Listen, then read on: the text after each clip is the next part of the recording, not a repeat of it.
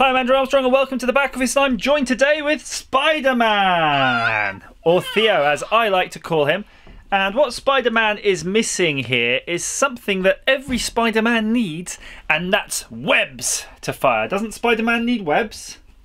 He does. He does need webs. So we're going to use the 3D printing pen printing pen, the 3D printing pen, that's a bit of a tongue twister, to make some Spider Man webs today. So let's go to the Spider Cave. Oh, is it Spider Cave? Spider Lair? Hmm, which is it? You don't know. Spider house. The Spider House! Off we go. And down there is our office spider, by the way. I'm just going to show you real quick while we got the camera. You see his little leggy? Yay! This is where he lives. This is the office spider.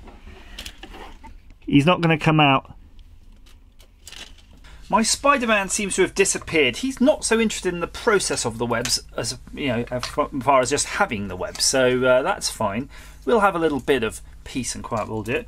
Uh, I thought I'd just sort of talk two seconds, literally two seconds, about the 3D printing. We've had the pen. You might have seen a previous video on it.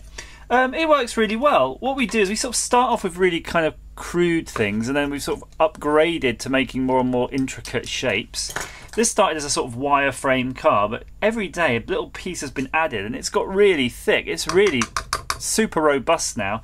So you can actually make some sort of really quite good things out of this. And once they're done, they the kids play with these. These are these are tough. Um, you might have seen the previous video on some spinners and stuff. You know, you can just make these functional things. So Spider-Man web though is going to be really, I think it's going to be one of the easiest things. I'm thinking in my head something a bit like a ninja star. So I got some white filament from my uh, 3D printer. We're just going to use that because we have loads of that.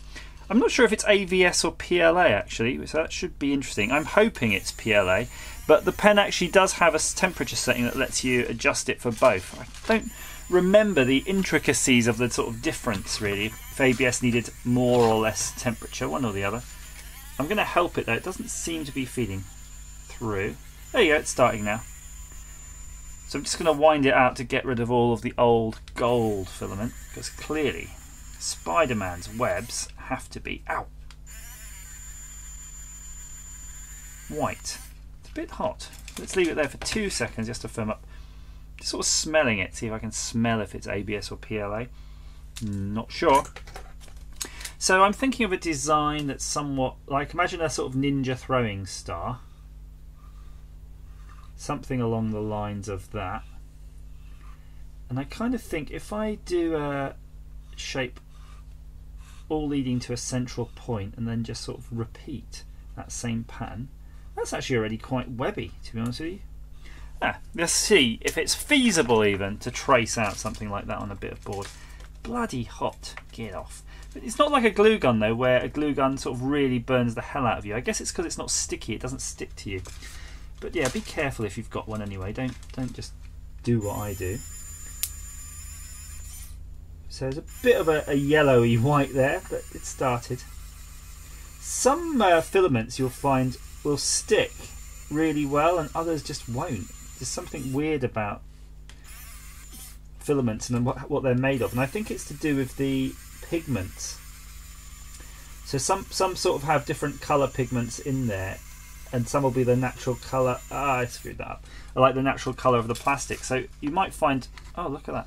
Maybe something like a white, you're actually just seeing the color plastic. Whereas maybe if you're seeing a gold, you're seeing a white plus something else. And that plus something else bit is the bit that's going to react weirdly. So I'm just going to stop the pen once I get to the edge so it, I don't continue to make a massive mistake. So when you're doing this, and it's the same for any of these sort of 3D pen projects. And your 3D printer, if you're using a 3D printer, is doing the same. You're kind of laying down a base that has to sort of adhere reasonably well because everything else is just going to stick off that. Um, and then once you've got that good, you can just keep layering it pretty aggressively. So you can see I'm just not I'm not taking massive amounts of care because I just I'm just trying to get the uh, general sort of skeleton done. And frankly, how much care do you need to take for something your kids are going to chuck around for 20 minutes and then get bored? If you're doing this for your sort of cosplay or jewellery, yeah, you, you, I think you're going to set your uh, pen to the much slower speed. Oh, I forgot a rib here. I think that's looking quite spider webbish. So that's your first bit. Now we know that that's not going to be any good for anything because it's going to break as soon as I peel it off. So literally just a case of going over. And what I've discovered through making other bits and pieces, if you want to make something solid, look at this sort of zigzag motion I'm doing. So I'm doing a zigzag motion perpendicular to the line of the original thing I've laid. Yeah? So if you can imagine the structure of this, if you if you alternate each layer, so you do perpendicular to the previous one, it's a bit like a sort of composite. You're making it very strong in uh, both planes, so it won't really be uh, very bendy. It should stay quite rigid once you're done, and it's quite satisfying. I have to say, I'm I'm enjoying this white. The white filament definitely seems to be a reasonably pigment uh, pigment free one. Now, one of the ones, if you use the darker colours like blue, black, some of those have loads of pigment in it, and they really react strangely when you're using them. So, if you've got any comments on that, I'm just I'm just making my observations. But if you've got any comments or you know why why pigments react weird, um, then let me know. My my guess would be the pigments are reacting strangely because they're kind of like a filler material. So they don't react to heat and anything like that in the same way as the actual glue, the PLA or the ABS. So they're affecting the flow of the actual melted part, the, the ABS glue, which is acting as the carrier for that colour. But what do I know? What do I know? Could this be a Christmas tree decoration perhaps? It does look kind of like a snowflake. rattling through it now. So my kids also like Power Rangers, so I'm, I'm trying to think what what does a Power Ranger have that I could make? I could probably make like a sort of Zord or something, a very crude one. Oh, look at that! This is going to be well rigid. It's even got a kind of web-looking texture because everything you 3D draw has that organic texture look to it. You can't help that. You're not a machine. I recently described these pens to somebody as, as having a MIG welder on your that you can use on your desk, and I think it's still a pretty apt description. If you've done any welding, especially MIG or TIG welding, I think you'll appreciate the similarity, but it really is like a MIG welder because the material's fed to it.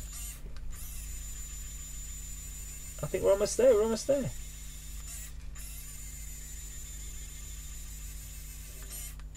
So if I want to then now make a bunch of these, I think I'll just follow the same uh, outline. But frankly, I think one is probably enough for now. I mean, till they lose it. So I should just give that a few moments to harden. Uh, just another talk on weird filaments. Yellow. I found yellow is really bad, or at least this make of yellow. Very odd. So all these things are really a pain when you're setting up 3D printers, real 3D printers, because you can control a lot of the variables with the pen as you're going along, but a 3D printer just has no idea on the materials you've given it. So so that's why sometimes you'll get a really good print and then the next time you use it, it'll be really kind of horrible and you've not changed anything. and You're like, what's going on? And it's just something to do with your filaments. Wow, that is pretty darn good. I think it's not only good, it's sharp. It's like deadly sharp on the corners.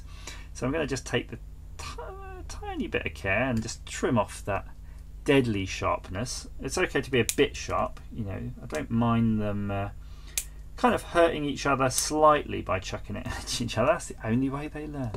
Um, but yeah, you don't want it deadly sharp. If you really wanted to make sure that these would be you know not harm anyone when in operation you could take a hot air type blower or even maybe a lighter or something and then just run it along the edges and it will make those into little soft blobs but yeah that's pretty Spider-Man like I think so yeah web slingers out there make your own Spider-Man webs and I'm going to go and find my own little Spider-Man and uh, see if it's what he was looking for hi Spider-Man what is it that every Spider-Man needs? Web.